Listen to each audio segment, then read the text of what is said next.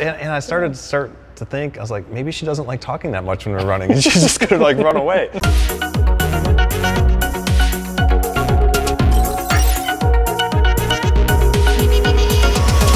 Hey, I'm Jamie McMurray, and I am here with Matt Kenseth, driver of the number 42 Credit One Bank Chevy Camaro, and we're here for the Credit One one-on-one. A lot of ones. That was a lot of ones. But we're gonna get to know Matt a little bit better. I'm gonna ask him a few questions um, about his life, and, and hopefully you guys will, uh, will learn something here.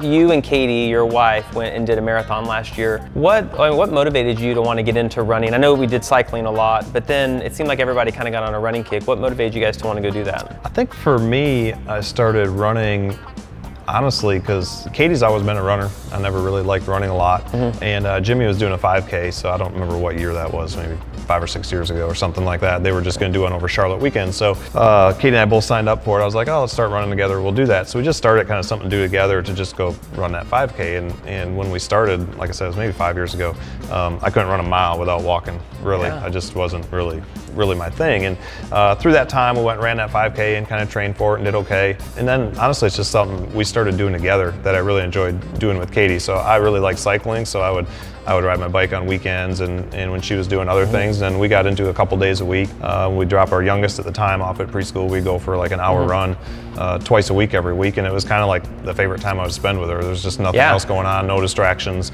Uh, we could just talk and, and run and spend time. You could talk and run? Yeah. That's good. I can't talk and run. I couldn't at first unless I made her slow down. Um, and then there's She was the faster runner initially. she was a lot faster initially. Oh, wow. A lot faster. And then there's a few other classes she did, and she got she got fast enough where I had a hard time keeping up. So that's motivating, right? Yeah, and, and I started to start to think, I was like, maybe she doesn't like talking that much when we're running, and she's just gonna like run away. And then, uh, but also give me a little credit as I started running more and more. Um, We'd bring Clara, who was our youngest at the time, with on runs in the stroller. So I would be pushing the Yeah. stroller. and That's a lot of work. And when we got to hills, it was very, it was like full on for me to keep up.